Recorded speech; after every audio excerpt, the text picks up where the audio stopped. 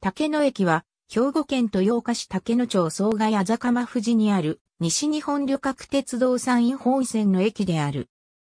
開業当時からの木造瓦葺きの駅舎が残り、特急、浜風の停車駅である。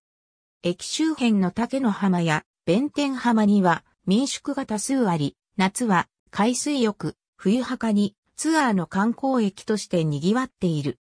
豊岡駅管理の簡易宅駅で窓口が設置されているが、夕方から早朝までは無人となっている。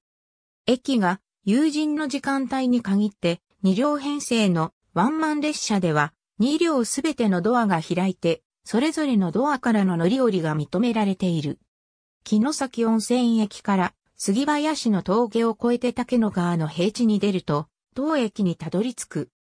ホーム古線橋から単式、島式の複合型2面3線のホームを持つ地上駅であったが、3番線の分岐器部分防線下で2面2線となった。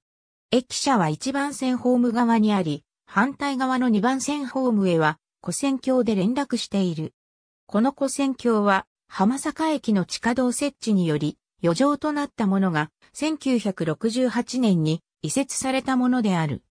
浜風えのき派189系導入に、伴いホームのかさ上げが行われた。改札内に男女別の推薦式便所がある。1日平均の乗車人員は226人である。近年の1日平均乗車人員は以下の通りである。駅前に竹の海岸方面へのバス停がある。駅前の土産物屋はなくなり、喫茶店が数軒と酒屋があるのみとなっている。全ただし、バス、豊岡市営バス特急、浜風の隣の停車駅は、列車記事を参照のこと。2012年までは、助津駅との間に間に信号場があった。また、1985年から1996年までの夏季には竹野駅間に信号場間に海水浴客の便を測って臨時駅の切りは、ま、ビーチ駅が設置されていた。ありがとうございます。